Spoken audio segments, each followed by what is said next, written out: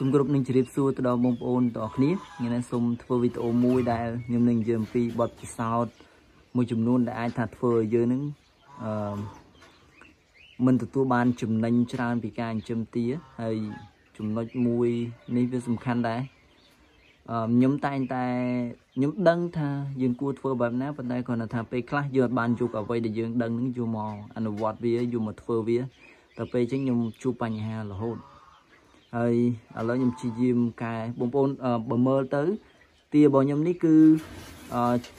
វាល្មមនឹងលក់ហើយហើយខ្ញុំក៏ត្រៀមនឹងលក់ដែរប៉ុន្តែនៅក្នុងហ្នឹងមានមេ6ដែលខ្ញុំទុកហើយមានមេ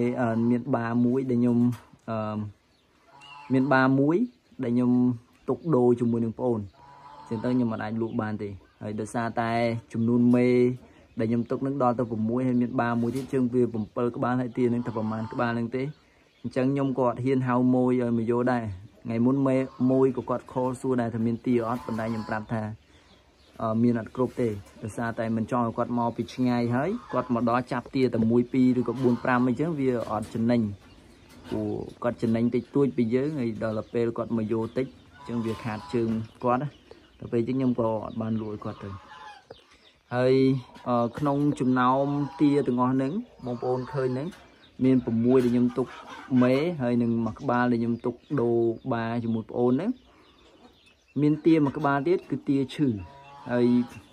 បងប្អូនប្រកាសជាសួរថាចុះបើទាឈឺមិនមិនព្យាបាលអឺវាជាជំងឺមួយដែលខ្ញុំអត់ដឹងថាព្យាបាលមិនដែរបងប្អូនអឺកំហុសមួយរបស់ខ្ញុំវាជាកំហុសមួយក្នុងចំណោមកំហុសពីរទៀតដែលខ្ញុំចង់ប្រាប់បងប្អូនហ្នឹងឯងគឺទាវាស៊ីផ្លាស្ទិកបងប្អូនអឺ ថង់ផ្លាស្ទិកនេះអឺបងប្អូនប្រកាសជាអាសាឃើញខ្ញុំប្រើនេះស្បៃហ្នឹងកាលពីវានៅថ្មីវាអត់អីទេ ស្បែកអស់ហ្នឹងគឺល្អមែនទែនប៉ុន្តែពេលដែលវាចាស់ទៅចាស់ទៅបងប្អូនឃើញស្នាមសឹកទាំងអស់ហ្នឹងអត់ស្នាមសឹកទាំងអស់ហ្នឹងគឺសិតតែទាអ្នកបោចស៊ីដល់ពេលហើយអឺ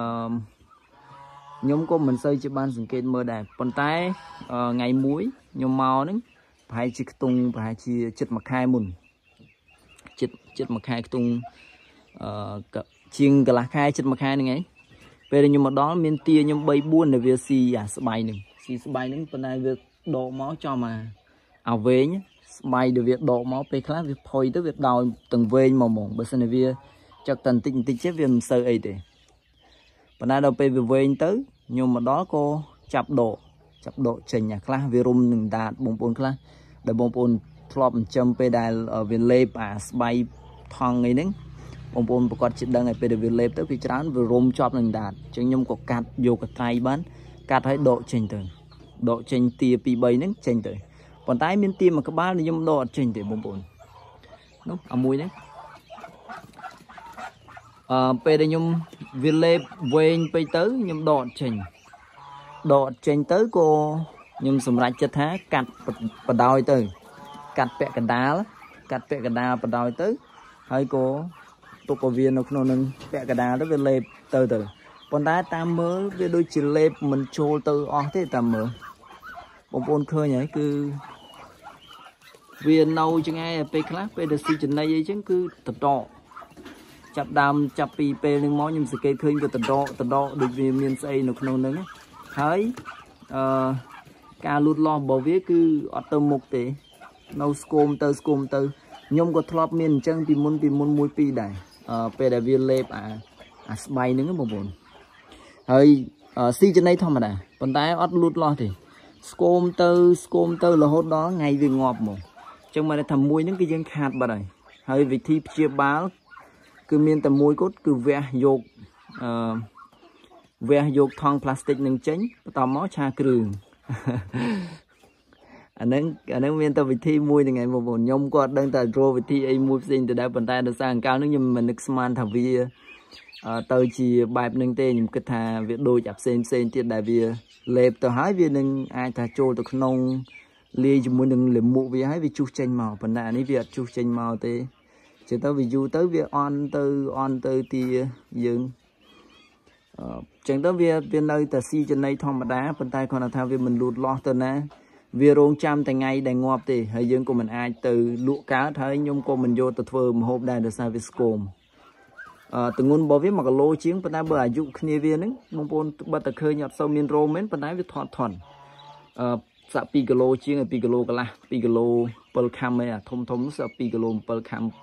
មានតែខ្លះលោដល់3គីឡូហើយប៉ុន្តែអាមួយហ្នឹងតែ1គីឡូជាងទេ បើតែវាមើលទៅដូចជាក្រងធំគេដែរប៉ុន្តែរួញរួញកហ្នឹងបងប្អូនចឹងមិនថាកំហុសមួយដែលខ្ញុំព្រឹត្តហ្នឹងគឺដាក់អាស្បៃនេះស្បៃនេះបើវានៅថ្មីអត់បញ្ហាទេប៉ុន្តែបើវាចាស់អញ្ចឹងហើយវាផុយវារៀងនេះចឹងហើយវាហូតវាដកវាស៊ីរហូតនេះបងប្អូនអញ្ចឹងនេះវាទាញស៊ីខ្ញុំនឹងកំចាត់ចោលអស់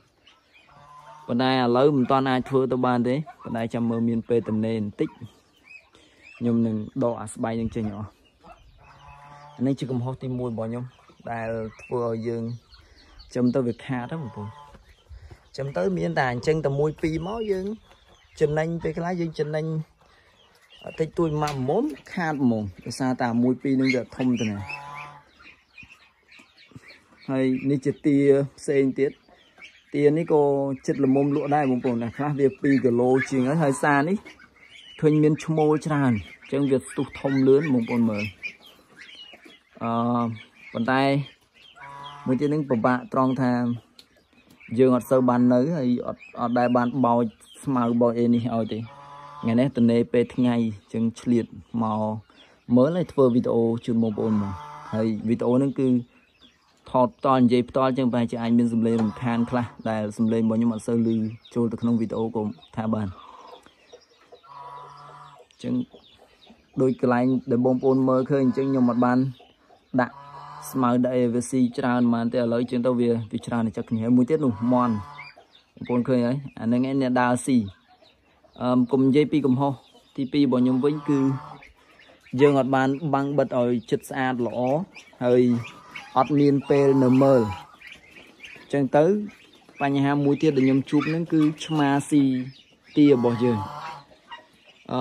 បើនិយាយពីរឿងបាំងបិទកុំឲ្យឆ្កែចូលឆ្កែចូលអត់បានទេ ជើងនេះហ្នឹងប៉ុន្តែបញ្ហាមួយទៀតហ្នឹងគឺឆ្មាឆ្មាវាអាចចូលបានបងប្អូនដល់ពេលឆ្មាវាចូលបានអញ្ចឹងទារបស់ខ្ញុំអាសានេះសានេះជាង10ដោយដែលបងប្អូនឃើញវីដេអូមុនមុនប៉ុន្តែដោយសារតែឆ្មាចូលស៊ីជាពិសេសចូលស៊ីក្បាលក្បាលល្ងាចពេលដែលខ្ញុំនៅធ្វើការម៉ោង7កន្លះឬ8បានខ្ញុំមកដល់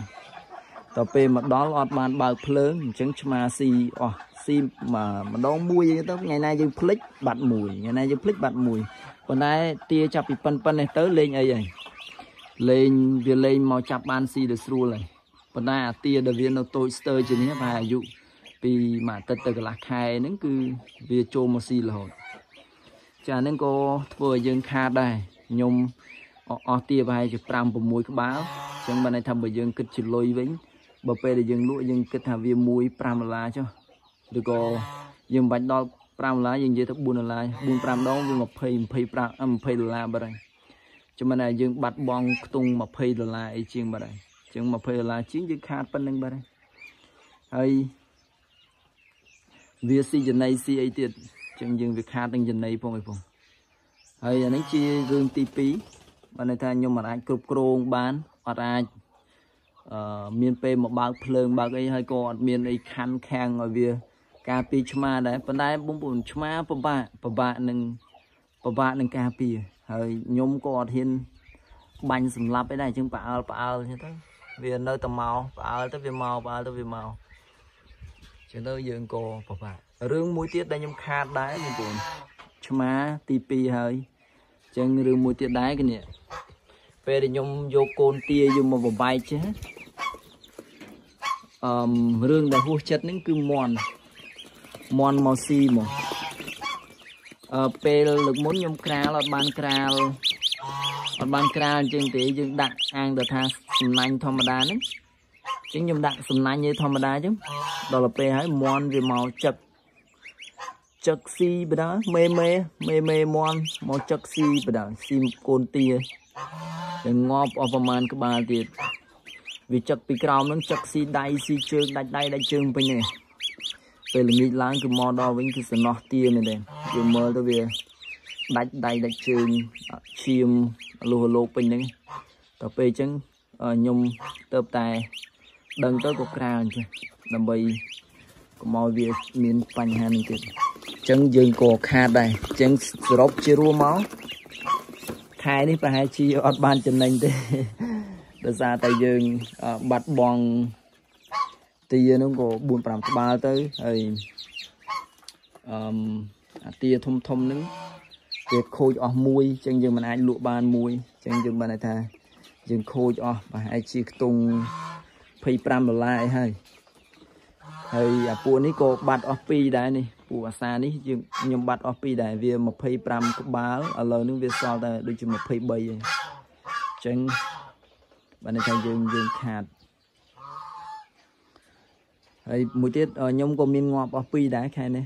ដោយសារតែពេលដែលខ្ញុំបដូរចំណីបានអត់មិនបដូរចំណីទេគឺបដូរកន្លែង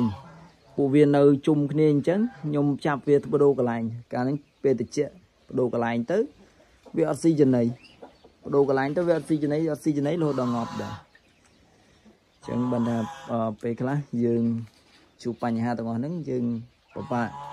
តែពិតបញ្ហាទាំងអស់ហ្នឹងយើងសិតតែមានដំណោះស្រាយគ្រាន់តែថាយើងមិនបានធ្វើដោយពេលខ្លះមន់ទារបស់យើងឈឺមិនយើងអត់ដឹងថាថ្នាំអីដែលត្រូវដាក់ត្រូវប្រើទេហើយឈឺម៉ាក់មុំដូចទាខ្ញុំអីនេះគឺអត់មានអីពិបាកទេដោយសារតែវារៀងធន់នឹងអាកាសធាតុធន់នឹងអីចឹងយើងគ្រាន់តែដាក់ថ្នាំធម្មជាតិមួយចំនួនដូចស្លឹកគ្រៃដូចអីចឹងវាជាបាត់ហើយប៉ុន្តែបញ្ហាធំមួយទៀតហ្នឹងគឺខ្ញុំមិនបានប្រើអត់បានដាក់ ហើយនេះគឺអត់តាន់បានដាក់តម្លាក់សត្វល្អិតទេហើយពេលខ្លះបងប្អូនពិបាកដែរពេលខ្លះកន្លែងខ្ញុំអញ្ចឹងខ្ញុំពិបាកត្រង់ថាពេលខ្លះរវល់គឺរវល់ហ្មងអត់មានពេលសម្រាប់ធ្វើអីផ្សេងទេប៉ុន្តែបើថាពេលខ្លះពេលតនេអញ្ចឹងទៅក៏តនេអញ្ចឹងទៅតនេច្រើនអញ្ចឹងទៅមានពេលដើរលេងប៉ុន្តែពេលណារវល់គឺរវល់សឹងតែរកពេលធ្វើការអត់បានអត់សឹងតែរកពេលធ្វើអីផ្សេងអត់បានអញ្ចឹងណាអញ្ចឹងវារៀងពិបាកបន្តិច ហើយសរុបជារួមវិញបងប្អូនដូចខ្ញុំធ្វើឲ្យបងប្អូនឃើញខាងនេះខ្ញុំកាលមុនក៏មានដាក់ស្បែកពោខៀវដែរបងប្អូនមើលវីដេអូមុនមុនឃើញអញ្ចឹងឥឡូវខ្ញុំព្យាយាមដកអស់ហើយហើយតិចទៅទៅខ្ញុំនឹងខាំងដោយប្រើអាស័យប្រើអាស័យឬក៏យើងទៅទិញឥតឥតពួកឥតធំធំអាឥតឥតមួយស្មើនឹងឥតយើងឥតធម្មតាជា2ដុំមក ជាងប្រហែលជាអាចថាទិញយូរមករៀបប៉ុន្តែខ្ញុំអត់ចេះរៀបទេចាំមើលពួកម៉ាក់អីវាមកពីថៃអញ្ចឹងនៅឲ្យវាជួយរៀបជួយរៀបឲ្យបានប្រហែលជាមួយឥតពីរឥតឡើងទៅលើទៀតទៅដើម្បីកុំឲ្យវាផ្លោះចេញបានព្រោះឥឡូវទីរៀងធំធំតិចវាផ្លោះចេញអញ្ចឹងអឺខ្ញុំធ្វើឲ្យរៀបឲ្យស្អាតឡើងវិញព្រោះពេលខ្លះយើងឡើងតែស្ដាយលុយហើយយើងទៅទិញអាស្បៃហ្នឹងមិនថោកប៉ុន្មានទេបងប្អូនស្បៃហ្នឹងក៏ថ្លៃដែរប៉ុន្តែយើង ស្ដាយលុយហើយយើងអត់មានពេលទៀតយើងធ្វើអាហ្នឹងវាលឿនដល់ពេលហើយយើងស្ដាយលុយទៅពេលខ្លះអឺខូចអស់ទាតែមួយពីរទៅទាប្រមាណនៅក្នុងនេះក៏ធ្លាប់ស៊ីអាស្បៃនឹងដែរប៉ុន្តែខ្ញុំចេះតែមកតន់វាជាប់កកក៏មានជាប់ជើងក៏មានប៉ុន្តែមកតន់ទៅក៏ដោះចេញទៅចឹងបានន័យថាជារួមមកវិញដោយខ្លីបានន័យថាបញ្ហា3ដែលខ្ញុំជួបហើយដែលវាអាចនឹងធ្វើឲ្យយើងខាតវាមិន ទទួលបានផលចំណេញច្រើនហ្នឹងគឺបើន័យថាយើងវាមិនទៅខាតឯណារហូតដល់ថ្នាក់រោចំណេញបានទេប៉ុន្តែគាត់ថាយើងចំណេញមិនបានច្រើនបញ្ហាទី1គឺដោយសារតែផ្លាស្ទិកដែលវាមាននៅក្នុងកន្លែងយើងចិញ្ចឹមហ្នឹងចឹងវាស៊ីទៅវាធ្វើឲ្យប៉ះពាល់ដល់ប្រព័ន្ធរំលាយអាហាររបស់វាចឹងវាធ្វើឲ្យទានឹងវាស្គមរីងរៃមិនអាចធំធាត់ទៅណាវាស៊ីចំណីប៉ុន្តែវាមិនធំទៅណាហើយបញ្ហាទី2គឺឆ្មាចូលអុកឡុកឆ្មាចូលស៊ីកន្លែងរបស់យើងអញ្ចឹង រឿងហ្នឹងឥឡូវនេះខ្ញុំបានប្រាប់ទៅម្ដាយរបស់ខ្ញុំឲ្យគាត់ថាម៉ោង7ម៉ោង6អីហ្នឹងគឺគាត់មកបើកភ្លើងឲ្យហើយចឹងបើកភ្លើងឲ្យទុកចោលទៅវាអត់បញ្ហាហើយអឺបងប្អូនខ្លះប្រកបជាសួរចំមិនបានដាក់កងានដែរវាមិនស្រ័យពេលខ្លះវាស្រ័យទេប៉ុន្តែយើងមិនបានមកជាញឹកញាប់ដែរពេលខ្លះយប់កដាយប់អញ្ចឹងពេលដែលខ្ញុំលឺសលេងទៅខ្ញុំមកប៉ុន្តែពេលខ្លះទៅយើងក៏មិនបានលឺសំឡេងអញ្ចឹងអត់អត់មានមានបានជួយឯកាទៅបងប្អូន ហើយរឿងទី3គឺដោយសារតែយើងអត់បានប្រុងប្រយ័ត្នឧទាហរណ៍ដូចកូនទាទៅបញ្ញោះអីចឹងយើងចេះតែដាក់វាចោលចឹងអត់បាននឹកឃើញថាមន់អីវាចឹកវាស៊ីអីចឹងវាងាប់អស់4 5ហើយទាទៅបញ្ញោះមក